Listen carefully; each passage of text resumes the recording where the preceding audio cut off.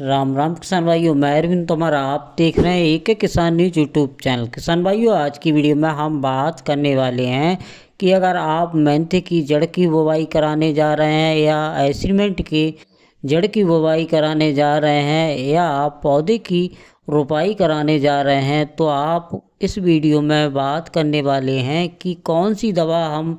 रोपाई के दूसरे या तीसरे दिन लगाएँ, जिससे हमारी जो मेहनती की जो फ़सल में खरपतवारों का जवाब देखने को नहीं मिले तो आज की वीडियो में हम उस दवा के बारे में बात करने वाले हैं। वह मार्केट में किस किस कंपनी की मिल जाएगी, ये बात करने वाले हैं। परंतु उससे पहले जो किसान भाई हमारे चैनल पर नए आए हुए हैं और इस वीडियो को देख रहे हैं, जिन्होंने मेहनती की क्रॉप कर रखी है मेहनती की क्रॉप करने वाले हैं, वो हमारे चैनल को सब्सक्राइब अवश्य कर लें, क्योंकि आने वाले समय में भी इस चैनल के माध्यम से हम मेहनती की क्रॉप से संबंधित वीडियो समय समय पर हम लाते रहेंगे तो हमारे चैनल को अवश्य कर लें ऑल नोटिफिकेशन पर क्लिक कर लें अगर हमारी व्हाट्सअप ग्रुप और अगर हमारी टेलीग्राम ग्रुप में जुड़ना चाहते हैं तो नीचे लिंक डिस्क्रिप्शन में दिया हुआ है। वहाँ से जाकर आप हमारे टेलीग्राम और व्हाट्सअप ग्रुप में भी जुड़ सकते हैं। तो किसान भाइयों, ज़्यादा कुछ न भटकाते हुए आप आते हैं अपने मेन टॉपिक पर कि हम अपनी मेहनते की, जड़ की बुवाई अगर हमने कर रखी है, पौधे की रोपाई अगर हमने कर रखी है और दूसरे और तीसरे दिन हो चुका है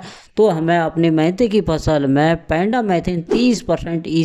दवा को अगर आप स्प्रे के रूप में प्रयोग कर देते हैं तो यह जो दवा है हमारे मेहनते की फ़सल, में खरपतवारों को जमने से रोकने का काम करती है, क्योंकि ये जो दवा है, एक लेयर बनाने का काम करती है, जिसके कारण जो हमारी मेहनते की फ़सल में और हमारे पौधे में मेहनते के में ये खरपतवारों का जमाव होने नहीं देती है। तो आप इस दवा को पेंडामेथिन तीस परसेंट इसी दवा को एक लीटर पर एकड़ के अनुसार अगर दूसरे या तीसरे दिन मेहनते की जड़ की बुवाई के बाद या रोपाई के बाद पौधे की स्प्रे के रूप में प्रयोग कर देते तो ये बेहतरीन तरीके से हमारी मेहनती की फ़सल में खरपतवारों को जमने से रोकने का काम करती है। तो किसान भाइयों, इस दवा का आप उपयोग अपनी मेहनती की फ़सल में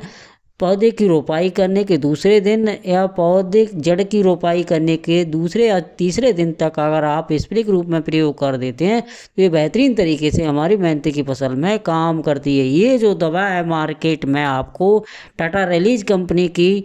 टाटा पनीडा नाम से मिल जाएगी और धानुका कंपनी की भी मिल जाएगी और भी विभिन्न कंपनियों की ये आपको मार्केट में मिल जाएगी। आपके यहाँ जिस कंपनी की अच्छी कंपनी की